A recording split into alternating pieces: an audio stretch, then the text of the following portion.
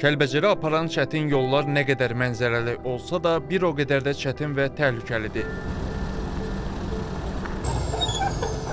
Artıq 2 ildən çoxdur ki, Kəlbəcərin həm daxili yollarında, həm də Gəncə-Kəlbəcər-Laçın yolunda inşa işləri aparılır. Bu çətin işdə əsas məsuliyyət Avtomobil Yolları Dövlət Agentliyinin üzərinə düşür. Hazırda qurumun sifarişi ilə layihələr icra edən tikinti şirkətləri var. Aparılan işlərdən biri də Kəlbəcərin yüksək zirvələrinə gedən təminat yollarının açılmasıdır. Tamamilə qayalıqlardan ibarət olan yerlərdə isə köməyə partlayıcılar çatır.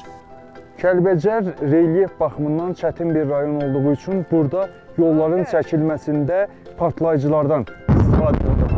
Bəzən 2 ton və 2 tondan yuxarı həcmdə partlayıcılardan istifadə olunur ki, yollar tamamilə açıla bilsin.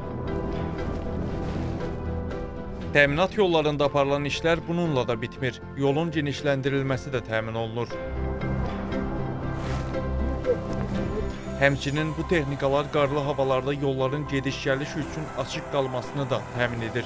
Xüsusilə də nəzərə almaq lazımdır ki, Kəlbəcərin yüksək zirvələrində bəzən qarın hündürlüyü 2-3 metrə çatır.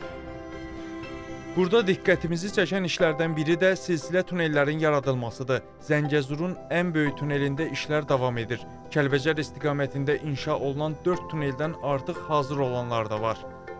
Onlardan ikisinin e, inşası demək olar ki, yekunlaşmış üzrədir və qazı partlatma, ondan sonra e, beton kəmər işləri tamamlanmışdır iki tunelimiz üzrə. E, növbəti tunel, yəni uzun tunelimiz hesab edilən 11 kilometr 600 metrdən artıq uzunluğa malik olan Murov Dağı tunelində isə Ümumilikdə qazma işləri 3700 metrə yaxın, beton kəmər işləri isə 1700, 1700 metrə qədər e, görülmüşdür. Dördüncü tunelimiz hazırda e, qarşısında dayandığımız dördüncü tunel üzrə işlər isə 900 metr e, uzunluğa malik tunelimizin hardasa 850 metrə yaxını qazılmışdır.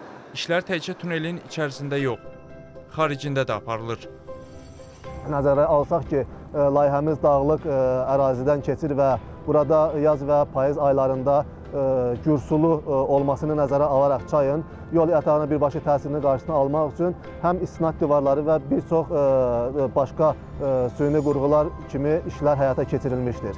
Başlanğıcını Göygöl rayonu Toğanalı kəndindən götürən bu yollar Kəlbəcərə və İstisusya qədər uzanır. Sözü gedən yolun inşasının 2025-ci ilədək bitməsi gözlənilir.